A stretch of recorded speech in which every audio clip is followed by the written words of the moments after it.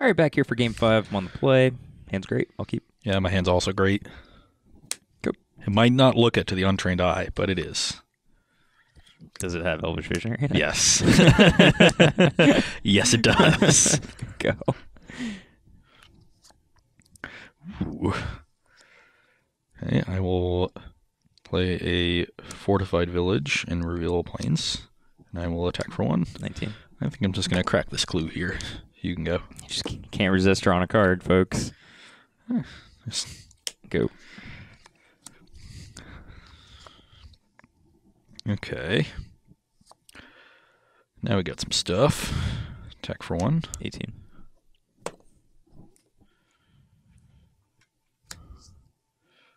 Lambholt Pacifist. Where's Wolves? Thraben Inspector. Oh, man. Look at that. Clued up. All right. Pass a turn. Charge this. Play Shivan Reef. Archive. Contort this. Go. That was, that's a good turn from you. Yep. Okay, so you have access to eight mana next turn with an untapped land. That's a lot. Yep. I think I'm going to do this this turn and then these on the next turn. So I'll play a fortified village, real forest, and Where's your blue mana, Ross? I don't know. I thought drawing an extra card would basically ensure that I have blue mana. Yeah, just fix your mana every time you draw an extra card. Yeah. So I can I can Coco now, and that's a lot worse against a Chandra. If I pass, it's a lot worse against Clash of Wills. I just get this clashed, I'm basically dead. So, and he only has a couple Chandras, so I'll just main phase it. Mhm. Also has a negate. Jesus. Oh yeah. Attack for two. Yep. At 16. Use your two Elvish Visionaries. How could you, You possibly lose? I mean, I'm still gonna win this game. Big draw there. You're just gonna have five cards in your hand that do there. nothing. All right. I think we'll start our turn off with a little anticipate. Ugh.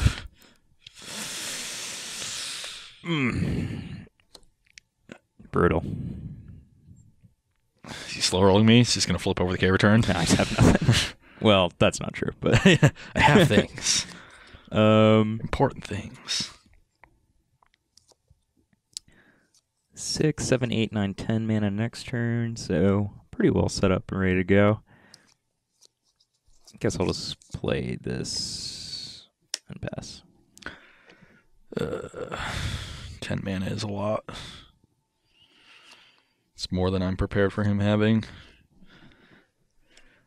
Uh, so I need to prepare to get Ulamog next turn. Nah. It doesn't even need a land to do it. So I do uh, need a land to do it. No, you just add a counter to this. Yeah, three, six, seven, eight, nine.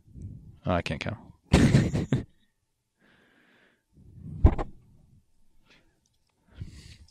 So I think that just means I want to extend my board as much as possible. If he could have swept my board last turn with a Chandra or K return, he, he would have. So I'll play another Tireless Tracker. I'll clash it for two. Okay. Uh, play a land and investigate. Yep. I'll play a Thalia's Lieutenant, which now insulates me against K return, and attack for eight. Yep. Brings you to eight. Yep. I'll pass the turn.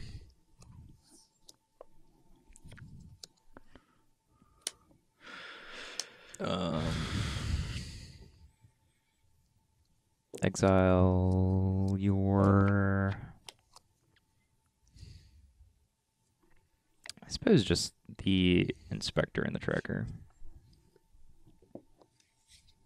Your turn. Exiled. Hmm. Okay, we're still not out of it because Michael's at eight. Awkward. We'll investigate. Sack this clue. Yep.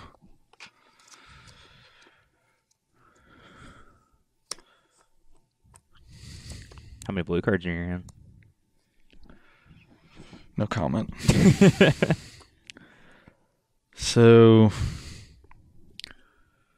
I'm at 3, 4, 5, 6, 7, 13, 16. So I, I have enough cards in my deck to survive two Ulamog triggers. That'll bring me down to six cards. And then a couple draw steps will still leave me. And uh, but I do need to end this game quickly, so I'll just play my things. Get two counters on this lieutenant. Yep. And not really worth attacking. Just trying to build big board. Hope Michael doesn't have much left. Um. Let's see. I think the you have one card left. Yeah. I think the fact that we don't have much left means we probably actually need to start attacking. Uh, this will buy us a turn, and then if Ross goes down to ten, then he has to hold back one blocker next turn, so we'll attack and trigger.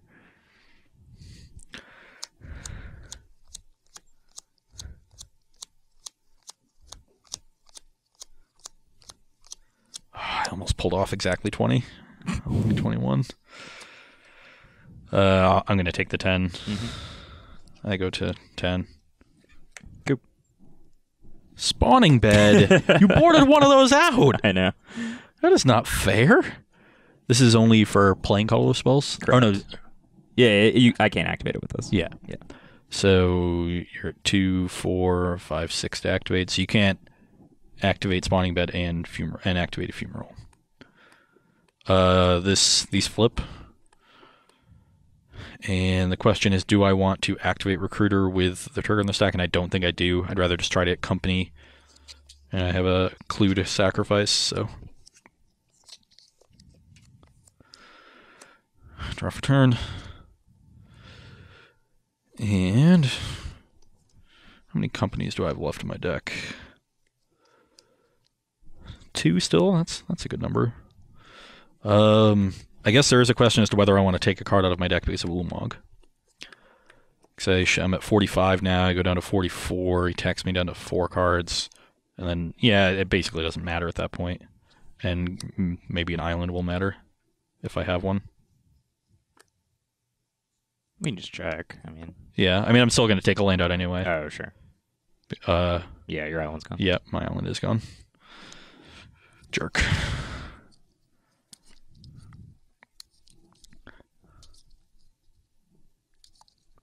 You have three cards? Two. Two.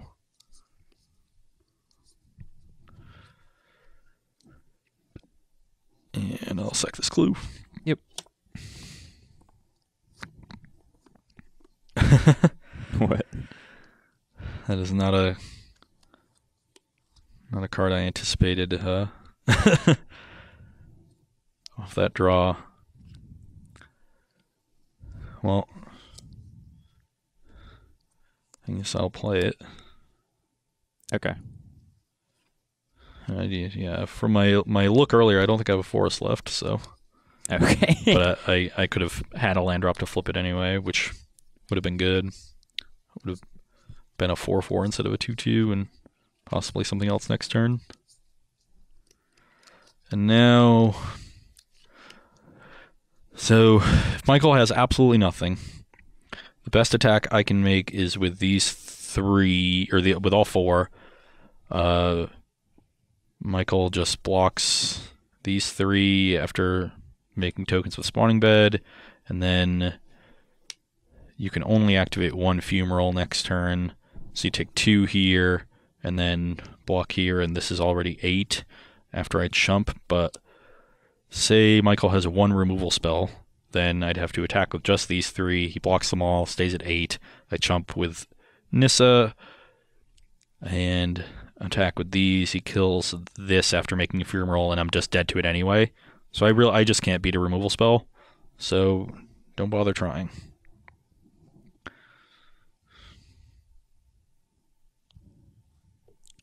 All right. Um. You just have the one card left. Yep. I think we're just gonna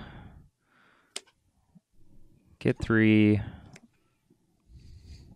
Um, I don't think there's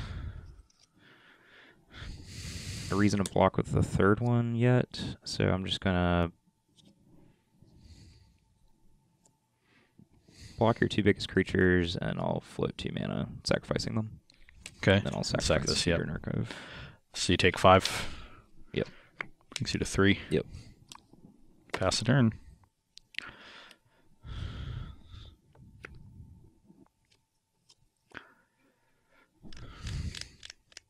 Hmm. Okay. How? Do you just have nothing? Pretty much.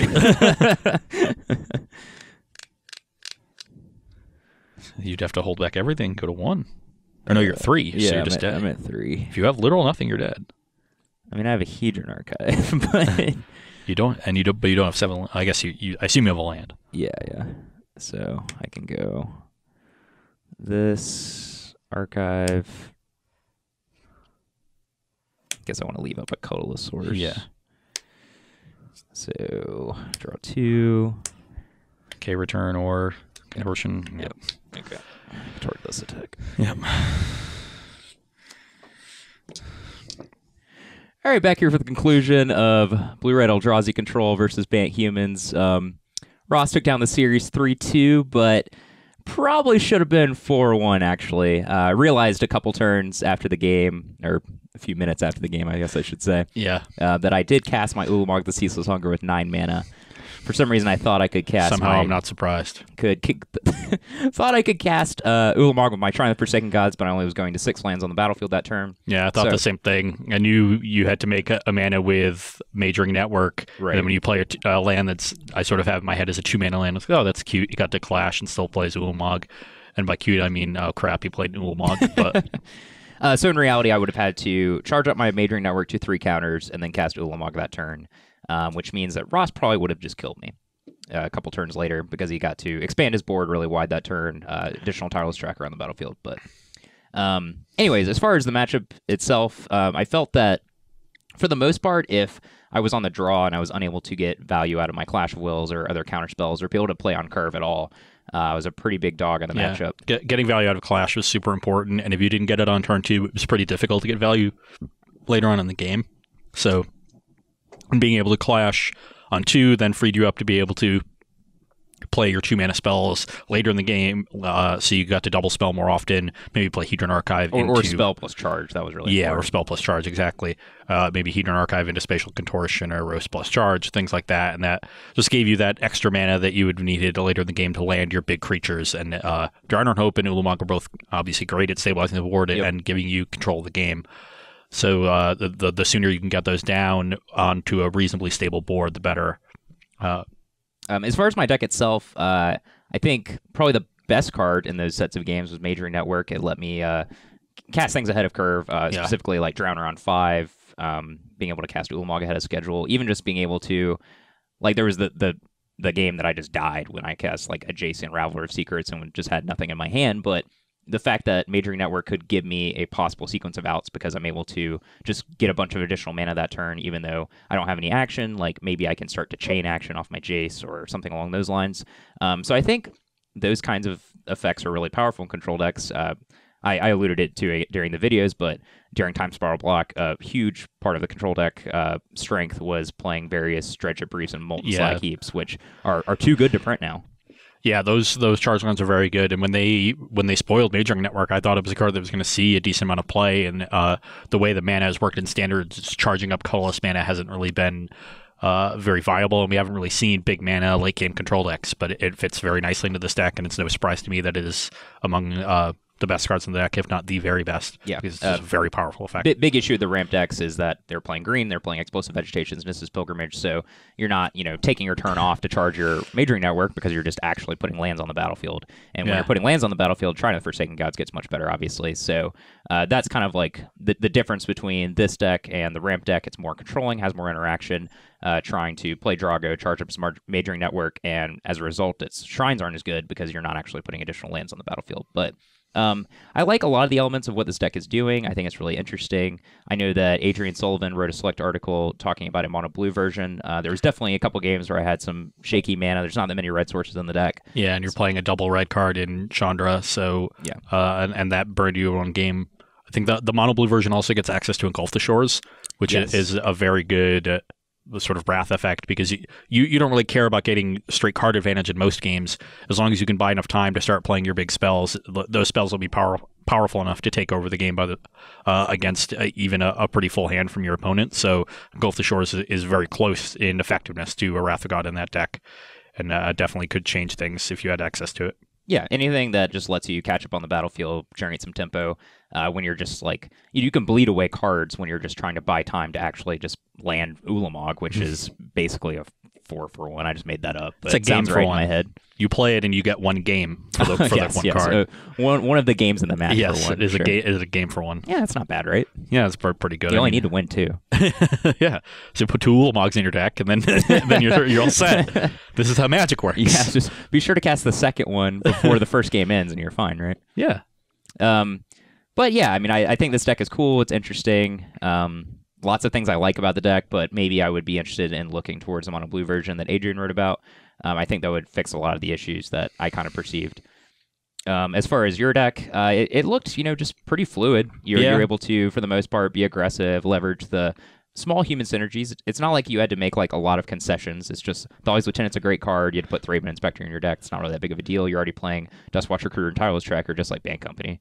Yeah, so the, uh, very few concessions in power level, and you get a lot of good synergy. And the- cards you're missing out of the uh, normal uh, Bant Company deck are Jace and Bounding Krasis, and those cards are, are tough to cast because they're both blue. So you get to make your mana a little bit better, and uh, you just get to, I, I think, curve out more efficiently and have a bit more of power from the synergies with Thalia's Lieutenant. Yeah, I, I didn't get to do it, but I imagine casting Collected Company into two Lieutenants is Oh, it's It just is- got to be it the, nice. the sweetest thing. I'm I'm getting chills just thinking about it. Yeah. So I, I definitely think that um, I I think this is just the best version of of Bant Company going forward because the human synergies are so Okay. strong and just making the mana better. We've all been sort of. Uh, I hesitate to say disappointed by Jace in this format because it just doesn't flip nearly as often as it did when we had fetch lands, and there are there isn't a lot to do with it unless you get uh, already have drawn a collected companies. You get to flash it back. So Jace underperforming in the deck uh, me makes it a, a sort of easy cut in my opinion, and you just get to play more of the humans. Lambholt Pacifist has proved itself very good in this format. This matches up well in combat with basically everything for a fairly cheap body. And Thalia's Lieutenant gives you another way to make it a four four by itself, Right. so it can satisfy its own uh, ability and just start attacking. Yeah, when you have, Along when with you have eight ways to turn it on, and it's just actual two mana four four. It's you know absurdly. Yeah, it's just. Tarmogoyf. yeah, basically. So, so we get to play Tarmogoyf, we get to play Glorious Anthem attached to uh, two mana seven seven. That's Thalia's Lieutenant. It's a seven seven. that just never actually happens. Yeah, it was like a two mana three three, which is still good. yeah, it's still good. Yeah, you get to play pretty close to Elvish Visionary, and then you get to play Duskwatch Recruiter, which is like a two mana Pretty draw close seven. Tarmogoyf, pretty close Elvish Visionary. yeah, and then you get to play Duskwatch Recruiter, which is like a two mana draw seven. Yeah, that's just it's just Wheel of Fortune. Yeah, well, that's Wheel of Fortune. Uh, Ojutai's command is Cryptic Command. Collected Company is like Jace the Mind Sculptor. Sure, It does everything. Um, but it, uh, this matchup kind of like showcase showcase, excuse me, this this classic tension with control versus aggro control, and especially with like the werewolves and the various instants, uh, collected company Ojutai's command, and then uh, it's even more pronounced post board when Ross has access to negate. Uh, just able to get under me, make me play off balance, use my mana in inappropriate times, and then just kind of punish me with these interactive cards. Yeah. So was usually able to like, get ahead, and then if you're if you didn't have the creature to stabilize, and you had to play Planeswalker, just negate it and win. And Yep. sometimes I was far enough ahead that the, even the creature wasn't enough to catch up from from your position. So, uh, pretty yeah, pretty classic. When the when the aggro deck gets to play at instant speed, like the collected Company decks do, it, it's very nice against counterspell heavy decks like this, which is why we haven't really seen them, and um, why uh, I kind of feel the deck should move more towards being a ramp deck. yeah, a little bit more proactive. Maybe like Clash of Wills is still fine, but Yeah. maybe just uh, more of an effort to tap out most of the turns. Yeah, fewer void shatters, more other things. Yeah. More real cards. maybe like Warping Wail, especially if you're moving to uh, mono blue. But yeah, Yeah. Engulf the Shores does seem sweet. That's something I would be interested in playing with this deck for sure. Definitely. Okay. Um, but this weekend, taking a week off on the SCG tour, but then on the following week, we'll be in Atlanta for Standard with Andy Boswell and CVM the Beard and the commentary. beard and the pocket square. Andy Boswell is Yeah. too well dressed. Oh yeah, the It's pocket. not- I, I like the pocket it is square. so nice. It is not fair. I you could just make an effort to dress better, man. I mean, sure. I, no, but I, I don't want to wear a suit to a Magic tournament. sure, me, me And too. even the thing is, even if I did, I then would Todd still look Stevens would still look better than you. Todd Stevens and now Boswell. And I would. I would. brutal. I'm at best bronze, and no one wants to win the bronze. no one remembers who won the bronze medal. who who cares about bronze? It's shameful, really. Even if your suit game was on point, Todd Stevens would still have better shoes than you. Yeah, definitely.